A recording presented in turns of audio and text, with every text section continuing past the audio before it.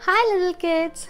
So we learned the phonic sounds in the previous video which was from F to J. So today we are going to learn the other next five letters phonic sounds. So what comes after J? K says k, k, k kite.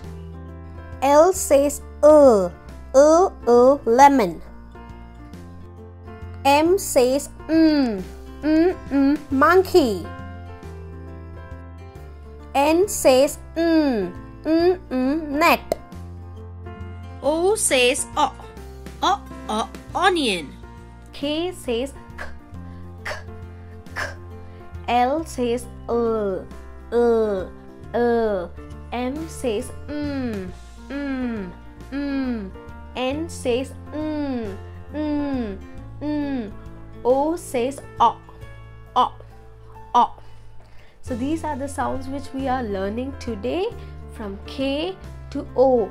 K, uh, mm, mm, o.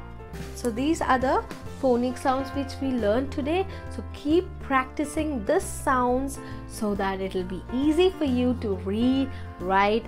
See you in the next video. For more videos like this, subscribe to my channel. I will come up with more phonic sounds in the next video.